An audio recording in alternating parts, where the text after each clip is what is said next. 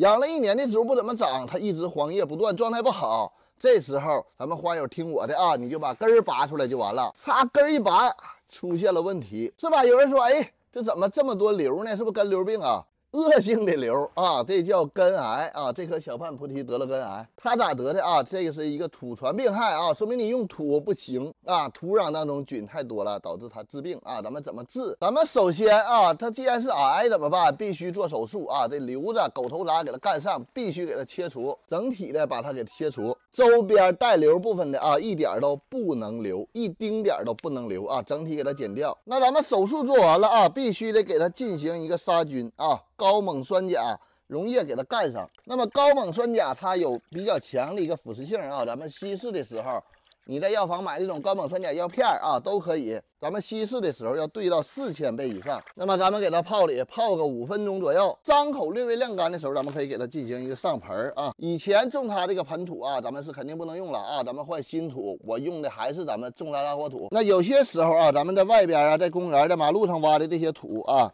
你不知道它里边有什么病菌，是吧？公园里的土到家以后要杀菌啊，像咱们这个土都是杀菌以后处理过的，包括里边加的珍珠岩火山石树皮啊，都已经是拌好的，到家以后咱们直接用就可以了啊。这时候啊，由于这个植物它没有什么根了，已经啊就是一个桩，那么咱们像扦插植物一样去对待啊，埋的适当的稍微的深那么一丢，定根水给它浇透以后啊，咱们要给它进行修剪，是吧？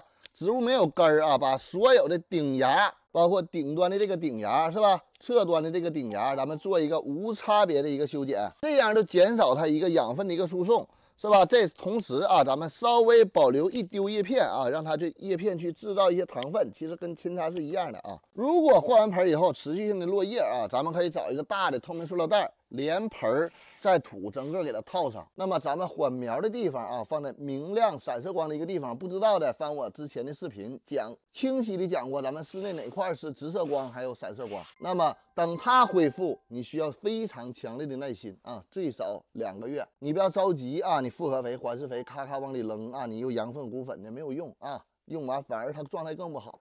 就是静静的等待它生根。